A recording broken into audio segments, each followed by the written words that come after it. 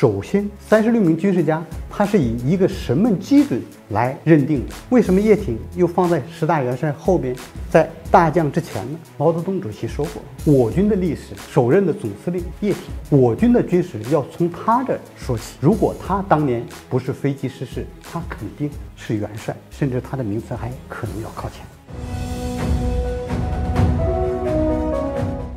欢迎观看帅克品读历史，我是帅克。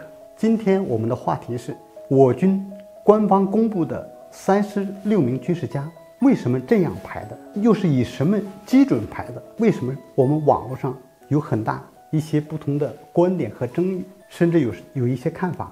你比如说叶挺为什么排在元帅之后，大将之前？杨尚昆、李先念又为什么排在了粟裕的前面？杨尚昆又排在了李先念前面？等等。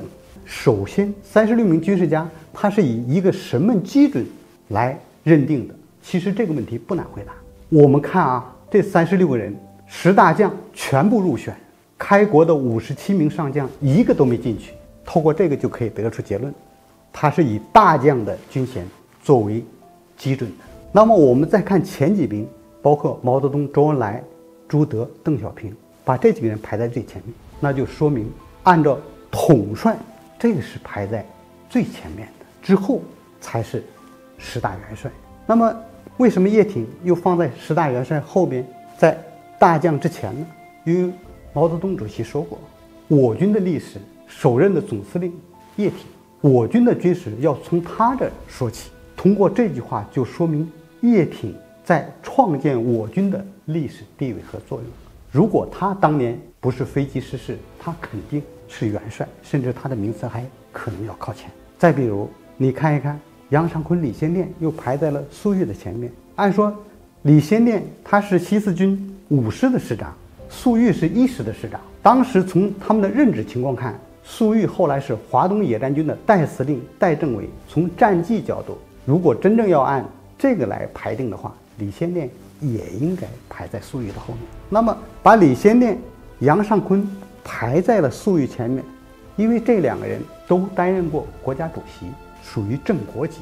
杨尚昆又排在了李先念前面，最主要是杨尚昆，他历史的资历更老，红军时期他就与彭德怀搭档，他就是红三军团的政委。再加上我们八十年代，大家可能都记得，杨尚昆主持军委日常工作将近十年，这可能也是把他排在前面的一个重要的一个原因吧。其他的，我们看。